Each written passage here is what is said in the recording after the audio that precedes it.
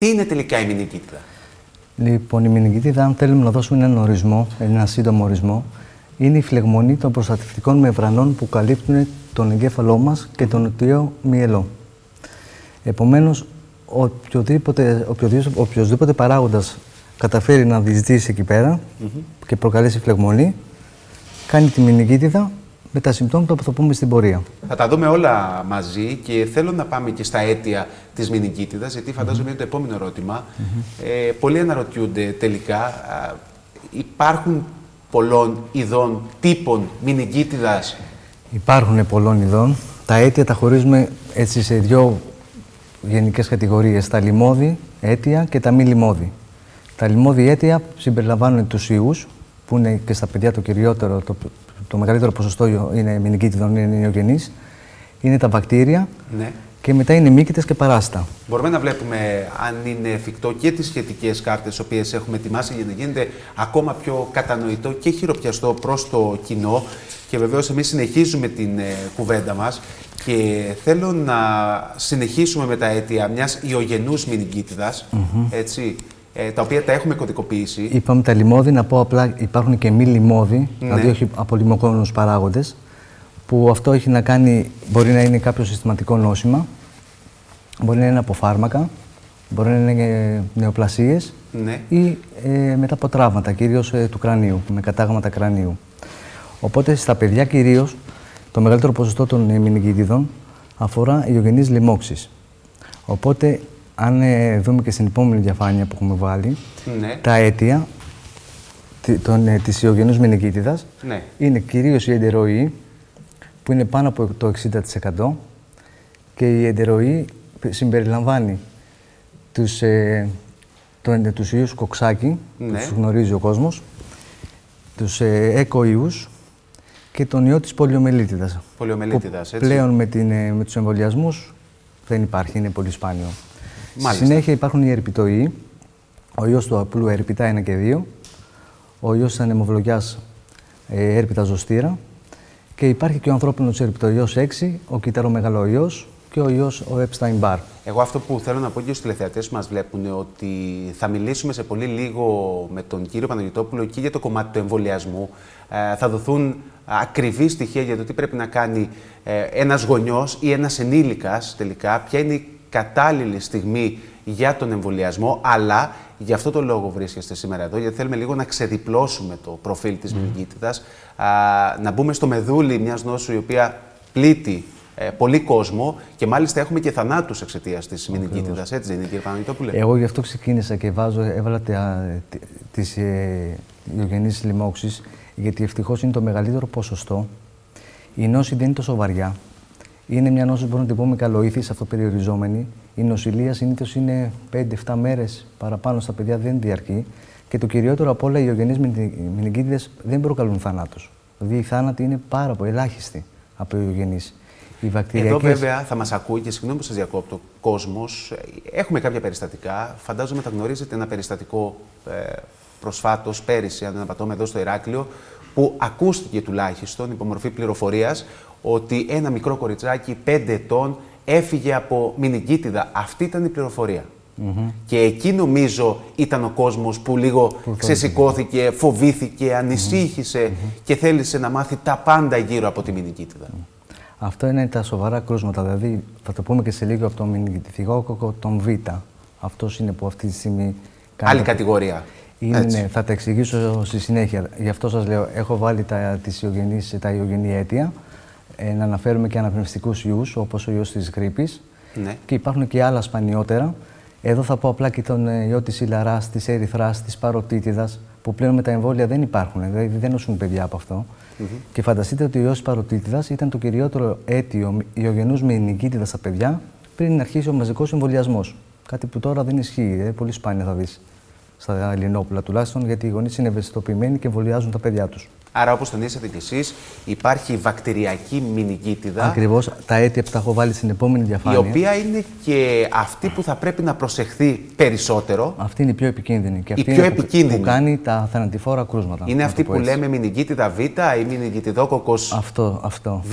Ο τύπου Β. Αυτό. Υπάρχουν διάφοροι τύποι, Ωραία. διάφορες ορομάδες που θα τα πω στη συνέχεια και που θα τα αναφέρουμε και στον εμβολιασμό. Στην ε, επόμενη διαφάνεια που έχουμε τα αίτια, τα βακτηριακά, Ναι. έχω βάλει μια διαφάνεια για να δείξω ακριβώς για το μηνυγκητιδόκοκο, που είναι ένα Neisseria meningitis που το βλέπετε, δεν ξέρω αν το μπορείτε να το βάλετε και στο κοινό, Ναι. ότι αφορά όλες τις ηλικίες. Δηλαδή, μερικοί νομίζουν, και το βλέπω εγώ και στο ιατρείο, ότι προστατεύουν μόνο τα παιδιά τους. Ενώ δεν είναι έτσι. Σαφέστατα στα παιδιά τα ποσοστά είναι πολύ περισσότερα, πολύ μεγαλύτερα. Μετά είναι οι νεαροί, οι έφηβοι και οι νεαροί ενήλικες, αλλά πλήττονται και πιο μεγάλοι άνθρωποι. Έτσι. Μάλιστα. Θα μπορούσε να πει κανείς πώς μπορεί κάποιος να α, προσβληθεί από την Θα τα ε, πούμε όλα. μηνυκήτηδα Β, αλλά θα τα δούμε Θα τα όλα πούμε στη συνέχεια. αναλυτικά. Ναι. Λοιπόν, ε, μας έχετε φέρει και σας ευχαριστούμε πάρα πολύ και κάποια σχετικά διαγράμματα από το κελπνο α, στοιχεία τα οποία αποτυπώνουν το, το, ε, Το μηνυ- μέγεθος του μηνυκητικό- προβλήματος στην Ελλάδα. Βέβαια, το μέγεθος στην Ελλάδα α, για τα κυρίαρχα αίτια. Ε, και βλέπουμε, θα δούμε τώρα στην οθόνη μας το σχετικό διάγραμμα. Εξηγήστε μας λίγο τι βλέπουμε εδώ. Αυτό, αυτό είναι από το Κελπνό, από το Κέντρο Ελέγχου και Πρόληψη των Νοσημάτων, το επίσημο, που βλέπετε ότι με μπλε που είναι ο μηνυκητιδόκοκος που έχει τα περισσότερα κρούσματα όσον αφορά τη βακτηριακή μηνυκίτιδα. Εδώ να πούμε ότι ε, η πρόσφατη έτσι, που, που έβγαλε ανακοίνωση, το Κελπνό, από το Ναι.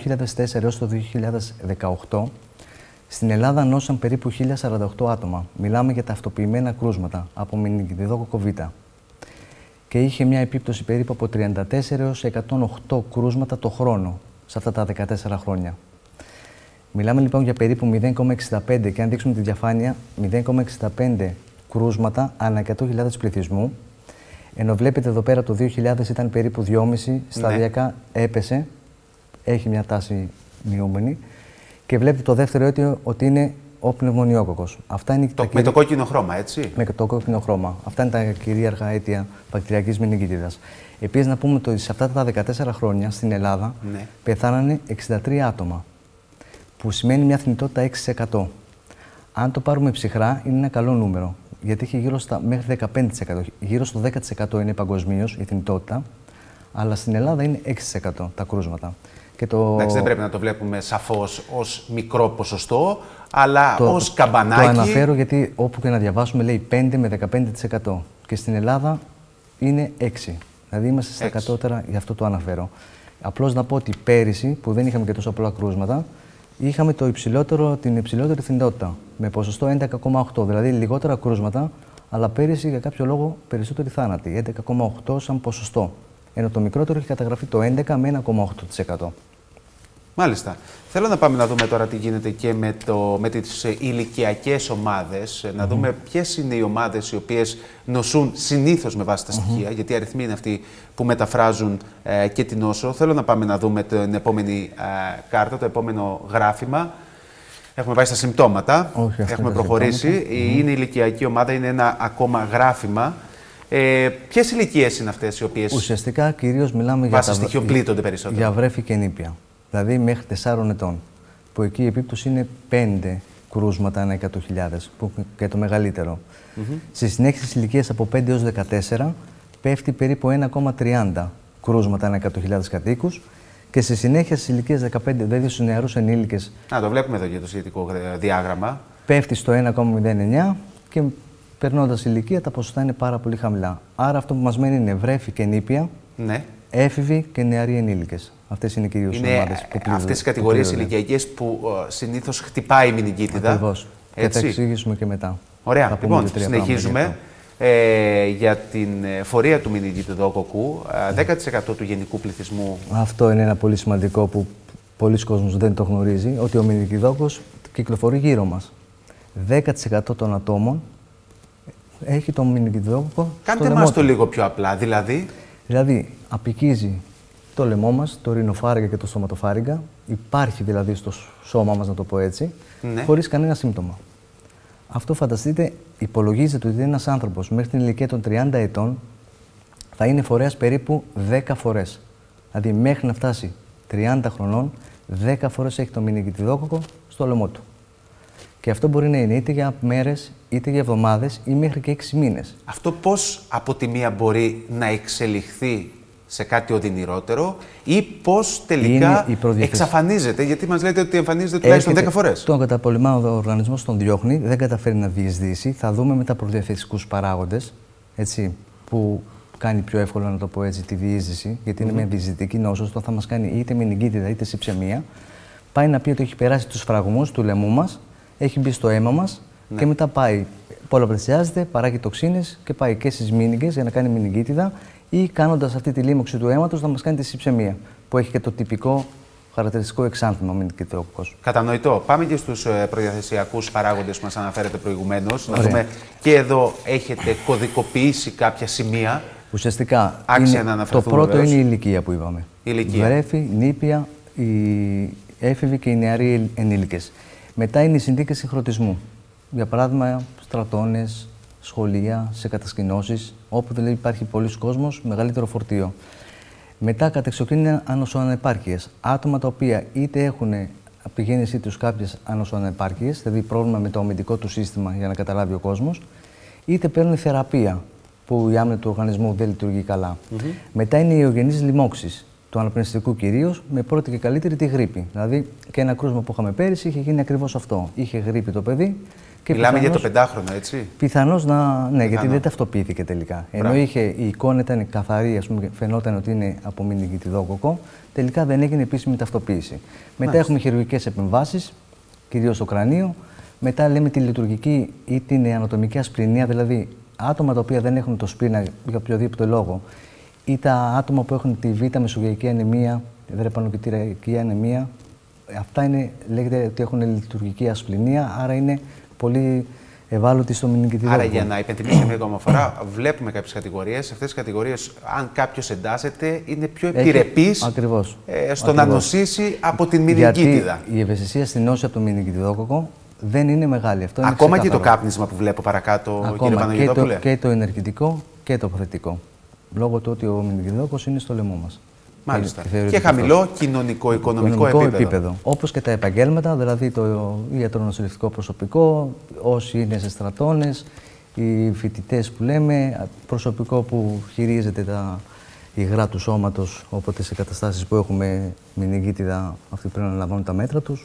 Μάλιστα. Λίγο πριν δώσουμε ένα τέλος σε αυτά τα πολύ σημαντικά και αξιόλογα στοιχεία τα οποία μας έχετε φέρει, θέλω να δούμε ένα γράφημα για την καταδομή της ε, μηνυγητιδοκοκική νόσου αναορομάδα στην Ελλάδα. Θέλω να μας εξηγήσετε λίγο σε αυτή την πίτα που βλέπουμε, καθώς το 78% αποτελεί η μηνυγίτιδα Β. Ωραία.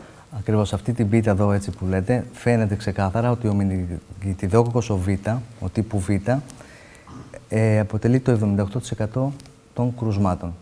Αυτό είναι πάλι από το 2004 στο 2018. Ναι. Όλες οι πόλεις, αν δείτε, γράφεται ο- το A, το B, το C, το Y και το W135, αυτές είναι οροομάδες. Δηλαδή ο Β έχει κάποιες υποομάδες, να τις πω έτσι. Στην Ελλάδα, ο Β, και είναι αυτό τώρα που έχουμε τα νέα εμβόλια για το μηνυκιδόκο τύπου Β, βλέπετε ότι είναι το 78% των κρουσμάτων. Τα υπόλοιπα είναι σταδιακά, έχουν μειωθεί πάρα πολύ Λοιπόν, και δεν μα, μας απασχολούν. Γυρίσαμε σελίδα και πάμε νομίζω στη, στα συμπτώματα. Μια πολύ ε, σοβαρή κατηγορία από την άποψη ότι τώρα α, μητέρες που θα μας κοιτούν, οικογενειάρχες που θα μας παρακολουθούν, ε, θα μείνουν σε αυτά τα συμπτώματα, καθώς είναι αυτά που θα πρέπει να μας σηκώσουν από την καρέκλα, θα πρέπει να μας ανησυχήσουν και να α, στραφούμε βεβαίως προς τη λύση ενός παιδιάτρου, γιατί μιλάμε για συμπτώματα σε βρέφη, σε παιδιά κάτω των ε, τριών μηνών, έτσι. Και βλέπω εδώ πέρα ότι υπάρχει ο πυρετος στην πλειονότητα των περιπτώσεων, έτσι. Ναι, καταρχάς κα- τα κάνουμε, τα κατηγοριοποιούμε σε δύο ομάδες. Τα πο- πολύ μικρά, βρε- τα νεογνά και τα βρέφη, τα πολύ μικρά, τα οποία Ναι. δεν μπορούν να εμφανίσουν τα τυπικά συμπτώματα της μηνικήτιδας και μετά στα μεγαλύτερα παιδιά.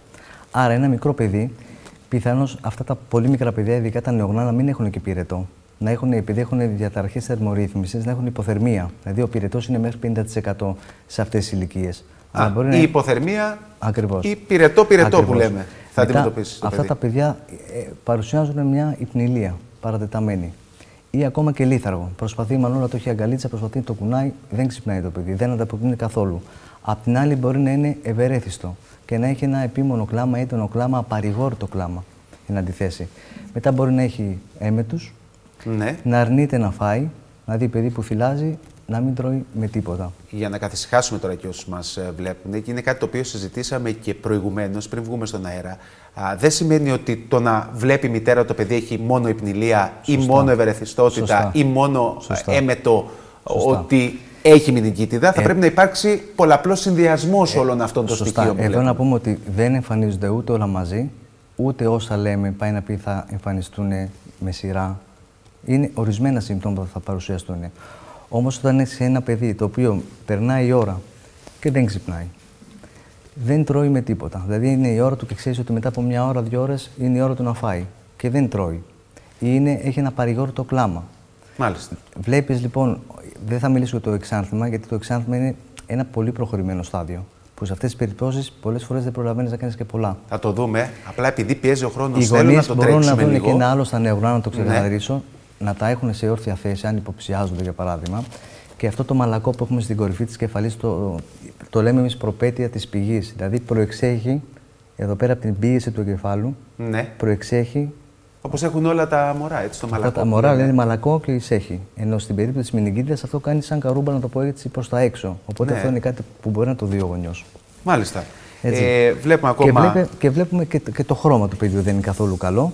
Και ή θα είναι πολύ οχρό, ή θα έχει κάποιες, εμείς λέμε αγκαιοκινητικέ διαταραχέ, είναι ένα κάτι κοκκινίλε ή να έχει μορφή διχτυού το δέρμα του. Θα δούμε τη φωτογραφία θα δούμε τις ίδιε mm. φωτογραφίες σε λίγο. Πάμε και στα συμπτώματα σε μεγαλύτερα παιδιά, κύριε mm. Παναγιοτόπουλε. Στα μεγαλύτερα παιδιά, λοιπόν, έχουμε τα τυπικά συμπτώματα μηνυγκίτιδα. Οπομονώ ναυτία και μετού σε μεγάλο ποσοστό. Έχεις μια έντονη, έχουν έντονη κεφαλαλγία. Εμφανίζουν αυγενική δισκαμψία. Πυρετό ψηλό. Mm -hmm. ε, στην πορεία και επηρεασμένο επίπεδο συνείδησης με σύγχυση. Έχουν και αυτά υπνηλία. Φωτοφοβία, ε. Φω, φωτοφοβία και έχουν και, φωτο, και ευαισθησία στο φως και, στους, και φωνοφοβία και ευαισθησία στους ήχους. Επίσης έχουν αφραλγίε, μυαλγίες, πονάει η κοιλιά τους, ε, έχουν μια κακουχία, όψη πάσοντος που λέμε. Σπασμού μπορούμε να δούμε όχι τόσο στο Β, πιο πολύ το κάνει ο πνευμονιόκοκο και το αιμορραγικό εξάνθημα που ξαναλέω είναι ένα σημείο πολύ προχωρημένο που έχει προχωρήσει. Να δείξουμε κάτι φωτογραφίες που έχουμε λίγο πριν πάμε να μας δώσετε ένα στίγμα τελευταίο και για τον εμβολιασμό που είναι το πιο σημαντικό για το καθοριστικό. Δεν ξέρω, έχουμε κάποιες φωτογραφίες για κάποια συμπτώματα. Εδώ μιλάμε για παιδί ε, ηλικίας περίπου. Κύριε Παναγιώτοπουλε. Γύρω στα 8 νομίζω είναι αυτή η φωτογραφία. 8. Είναι τα σημάδια. Αυτό τώρα με το ποτήρι είναι αυτό που το βάζεις και αν δεν εξαφανιστεί το εξάνθημα, είναι αυτό που λέμε το αιμορραγικό, το πορφυρικό της μηνυγκίτιδα.